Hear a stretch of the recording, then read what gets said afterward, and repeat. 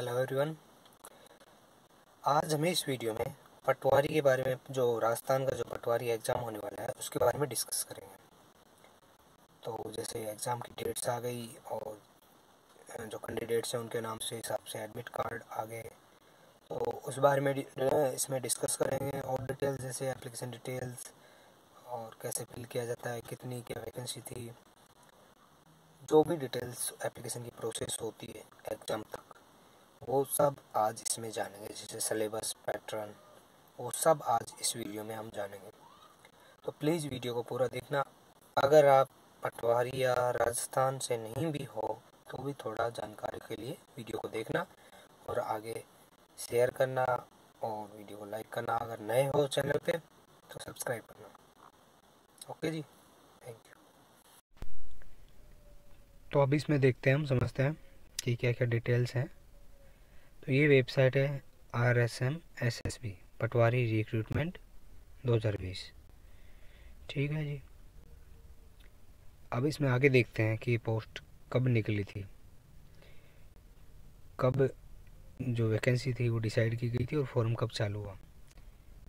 अब जैसे आप देख रहे होंगे यहाँ पे कि नोटिफिकेशन जो डाला था पंद्रह बारह दो हज़ार उन्नीस में डाला था और फॉर्म स्टार्ट हुए बीस एक दो हज़ार बीस से। और लास्ट डेट लास्ट डेट जो थी इसकी, छब्बीस दो दो हज़ार बीस। जनरल की फ़ीस साढ़े चार सौ, अदर स्टेट से जो हैं उनकी साढ़े चार सौ ओ बी सी से हैं साढ़े तीन सौ एस सी एस टी ढाई सौ रुपये यहाँ तक यहाँ तक जानकारी कंप्लीट। लास्ट डेट जो थी, वो कितनी थी? छब्बीस दो दो हज़ार बीस। और अब तो एडमिट कार्ड जारी होने वाले हैं। ठीक है जी। अब आगे शुरू करते हैं। जो इसमें वैकेंसी थी, उनका भी मैं और आगे दे दूँगा। कितने कितने, जो कैटेगरीज हैं, कितनी कितनी थी उसमें। तो टोटल जो वैकेंसी थी, वो थी छत्तीस सौ सैंतीस पोस्ट पूरी, जो इसकी एलिजिबिलिटी थी। Bachelor degree in any stream और ओ लेवल या फिर कोई भी डिप्लोमा कंप्यूटर साइंस में, जो इसको, उसके इक्विलेंट हो। ठीक है जी। और जो टीएसपी एरिया है, उसकी 570 वैकेंसी थी। नॉन टीएसपी की थी छत्तीस ठीक है जी। अब जो नोटिस इन्होंने डाला था तो उसके, उसको देख लेते हैं। वही उसमें बताया गया था, जो ये इसमें है, लेकिन इसमें ऑफिशियल नोटिफिकेशन नहीं है कि जो पटवारी विभाग राजस्व मंडल, राजस्थान अजमेर तो कुल पद थे बयालीस ज़ीरो सात, जिसमें अभी मैंने बताया डिवाइडेड हैं छत्तीस सौ सैंतीस और पाँच सौ सत्तर। एज का जो कैटेरिया है वो अट्ठारह न्यूनतम और चालीस अधिकतम होनी चाहिए। वेतनमान बीस हज़ार आठ सौ, ठीक है? और पे मैट्रिक्स लेवल वो आप समझ ही सकते हो एल फाइव एम और डिटेल्स हमने पहले डिस्कस कर ही ली। अब आगे चलते हैं। ये एलिजिबिलिटी का है जो डॉक्यूम कंप्यूटर कोर्स वगैरह होना चाहिए आर एस हो या कुछ और चल जाएगा। अब बात आती है यहाँ की जो रिक्त पदों की कमी या आरक्षण से संबंधित जो भी प्रावधान है, वो राजस्थान सरकार तय कर, करेगी इस वाले फॉर्म में। और जो भी अगर अलग से कोई सूचना या नोटिफिकेशन आएगा, उसके लिए साइट है ही W W dot R S M S S P dot Rajasthan dot gov dot in ठीक है? और कुछ भी और एड्रेस दिया हुआ है इसमें, व्यक्तिगत रूप से या दूरभाष से संपर्क किया जा सकता है, कर्मचारी चयन बोर्ड में। अब बात करते हैं इसके सिलेबस की। जो सिलेबस है, उसकी बात करते हैं तो इसमें देखो जनरल साइंस है जोग्राफी है हिस्ट्री है पॉलिटिकल है जोग्राफी इंडिया की भी है और राजस्थान की भी history culture polity of Rajasthan general English है मेंटल एबिलिटी है बेसिक कंप्यूटर है। तो अब इसमें समझते हैं कि किस किस का कितना कितना वेटेज है। अप्रोक्सीमेट जो वेटेज है जनरल साइंस हिस्ट्री पॉलिटी यानी इंडिया वाली जो करंट अफेयर्स और जनरल है, उस नॉलेज है, उसका पच्चीस क्वेश्चन है, नहीं, अड़तीस क्वेश्चन है और टोटल मार्क्स छिहत्तर। Geography history culture polity Rajasthan इसके कितने हैं?